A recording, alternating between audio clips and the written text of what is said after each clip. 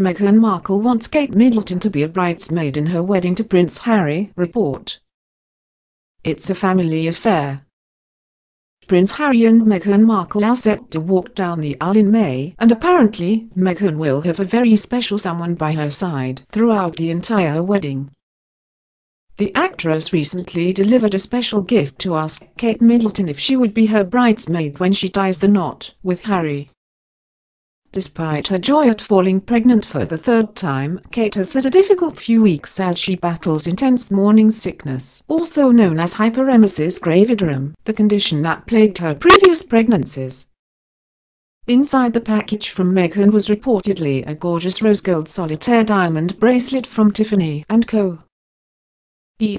Worth close to $1,600 and accompanying the extravagant gift was a sweet note asking Kate, 35, to be Meghan's maid of honor at her upcoming wedding to Harry. M.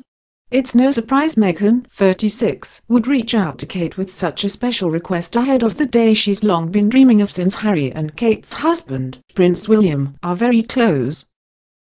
Since Prince William married Kate in 2011, Harry has been a regular visitor to the couple's household. S. He often drops in for cozy chats and family meals. I've got to know Kate pretty well.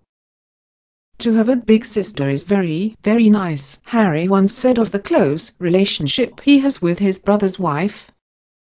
Uh, with Harry also enjoying his role as an uncle to Prince George IV and Princess Charlotte too. Meghan was even more determined for Kate to play a special role in the ceremony when she becomes an official member of the royal family. Join our Facebook group for the latest updates on Kate Middleton, Prince William, and all things royal.